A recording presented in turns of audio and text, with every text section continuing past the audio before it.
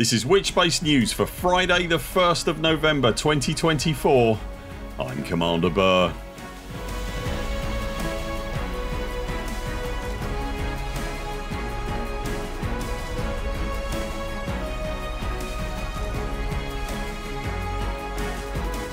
In Elite Dangerous news this week we see one of the biggest weeks ever as the Ascendancy update introduces Power Play 2.0 and the Mandalay Explorer. FDev announce when the Type 8 will be available for credits with more details on the new system colonisation feature and more. If you enjoy our videos consider subscribing to the channel and remember to ding the little bell to make sure you see all our content and community posts and if you'd like to help support our channel links to our Patreon and everything else are in the description below. Just a real quick heads up before we get into what has been an enormous week for Elite Dangerous. A Galnet article surfaced earlier this week about a famed treasure hunter going missing and in doing so it signalled the start of the now traditional Halloween event for the game. I've posted a link to the complete solution for the event below if you need it but you'll also find a link down there to the Galnet article if you just want to find your own way through. I won't spoil it here but suffice to say completing the event will reward some free in-game stuff as well as some snippets of story that you won't have heard before. Happy Halloween hunting.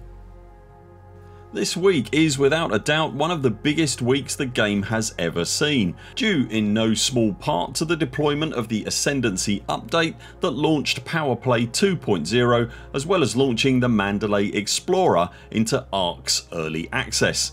The deployment of Ascendancy followed a 9 hour downtime for the servers which returned bang on schedule 3pm UK time there were some colourful snake based error messages in the early opening hours of the update but as at the time of recording at least they quickly settled down and were mostly driven by the swamp of players downloading the update and then logging in.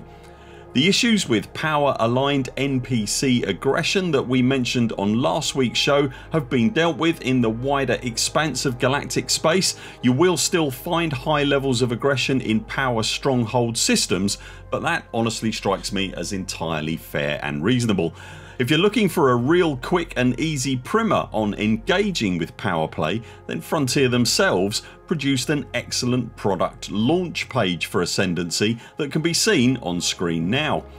The page itself you'll find linked in the description below this video and I'd highly recommend taking a look at it particularly if you're completely new to PowerPlay old or new as well as giving a brief look at the many types and flavours of benefits that pledging to a power in the galaxy can bring the site also gives some pointers on what you can do to earn merits under the new system and where to start something that was woefully unclear under Powerplay 1.0. As well as the benefits and where to start the launch page also provides a look at the new revamped PowerPlay map filter and how to use it and the settings therein to get the map to show you exactly what you're looking for. There's also mention on the page of the two new additions to the shifted and reworked Power Play portraits, those two new faces being Alliance player Nakato Kaine and the Federation's own definitely not Kevin Costner and one of the new power play gameplay options is also shown off on the page that being hacking and changing the holo billboard adverts on the outside of stations there's also pointers on the page to help you find the weekly task list that we spoke about on last weeks show and some visuals to demonstrate the many cosmetic changes that now occur inside stations and starports as a result of the presence of Powerplay 2 including new power specific graffiti that we've started to hear is now also being spotted in the wild. I've only lightly touched on the page's full features here which also include full patch notes for the update. As I've mentioned at the top you'll find the page linked in the description below this video. As part of the slew of live stream announcements on Wednesday Frontier also let go that new power play specific ship cosmetic options were becoming available alongside Powerplay 2.0. There's a raft of Powerplay faction specific ship paint jobs now available on the ARX store allowing commanders to display their allegiances in colours and if you want to quite literally fly the flag for your chosen superpower faction then that's also now available in the form of a new ship kit piece called the Powerplay banner. The holographic flag style banners fit into spoiler slots except for the Mandalay where they fit into the tail slot. They work for most ships in the game except for the following the Cobra Mark IV, Diamondback Scout, Hauler, Type 7 and Federal Dropship. There's also some new Power Play bobbleheads on the ARX store allowing you to proudly display your specific Power Player allegiance inside as well as outside the cockpit of your ship. And whilst it isn't specifically mentioned in the patch notes there's now an information panel on the left hand side of your ships cockpit that frankly may have been there before but I don't recall seeing it and it provides some great at a glance information about the system you're in including its controlling power, primary economy and security level etc which is generally useful both inside and away from power play. Of course the other big part of the Ascendancy update cannot go unmentioned that being the arrival of the Zorgon Peterson Mandalay Explorer class vessel into ARX powered early access.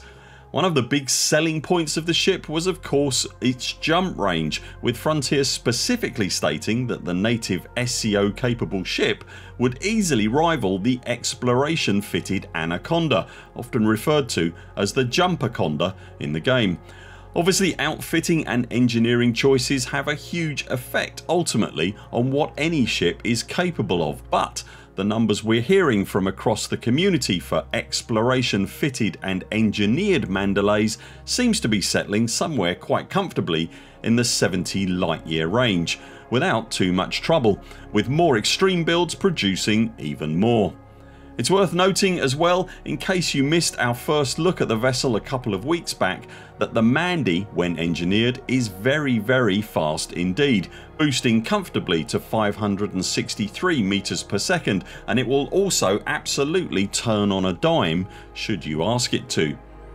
As they have with the previous ships this year Frontier also premiered a promotional trailer for the Mandalay this week and the lone explorer vibe runs deep in the gorgeous somewhat Star Trek Voyager inspired cinematic piece. You'll find that linked in the description below if you haven't yet seen it.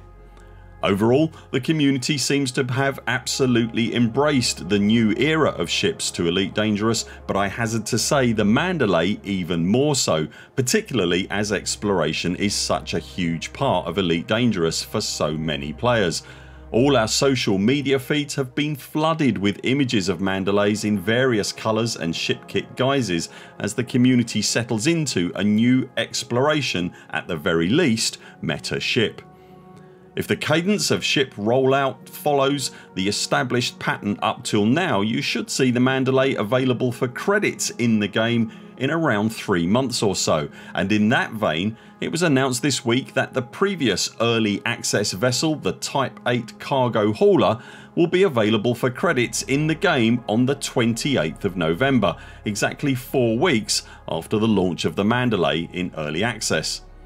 In case you missed the live stream on Wednesday then Frontier are nowhere near done with new ships however as they announced this week that the next new ship to enter the game marking the 10th anniversary of the launch of Elite Dangerous will be a new medium class 3 seater multi-role variant of the Cobra, the Cobra Mark V there's no specific date available yet on when we can expect to see that in the game but we are expecting to hear more about the new ship in the next Frontier Unlocked livestream on the 27th of November. It likely cannot have escaped your notice this week that Frontier also took the opportunity afforded to them by the livestream to announce and give a surface level overview of the next big feature coming to Elite Dangerous system colonisation. Many in the community, us included, had speculated that the new feature would be base building but whilst there are obvious elements of that in this feature system colonisation is really something quite different and something that is also very well suited to the unique nature of Elite Dangerous when set amongst the other space sim titles in the marketplace. We covered off the details made available to us as part of the Content Creator Partner Program in Wednesdays video but there was nuance in the live streamed chat between Arthur and Zac that we didn't have prior knowledge of. More details will be coming in the next livestream but it does seem from what we've heard that the system colonisation can be an effort driven by an individual commander and won't necessarily need a colossal combined group effort. With that said we think it likely, although it wasn't specifically stated, that group efforts will make the colonisation effort go quicker in a similar fashion to how community goals work. Indeed this assumption is being made by some of the large haulage based player groups like Operation Ida who we've heard are exploring plans at least to bring their hauling might to bear on other commanders system colonisation efforts when asked to do so. Zac also specifically stated that the new feature is also being designed to dovetail with Powerplay 2.0 for players that perhaps want to participate in Powerplay but are less combat inclined. They'll be able to use their exploration skills to colonise new space for their power to expand into through the colonisation feature. Frontier have promised the next live stream will feature guest developers talking about the feature and they'll also be discussing release schedules as well as some unannounced aspects of the feature. What a year to be a commander and it's still not done yet. Have you pledged to a superpower for the first time? Did you pick up a Mandalay this week and are you now scouting for systems to colonise? Let us know in the comments below. That's it for now. Thanks very much for watching. We'll be back later this week with more videos. Until then 0 7 CMDRs follow the greens on the way out and do keep clear of the toast rack. We very much look forward to seeing you next time.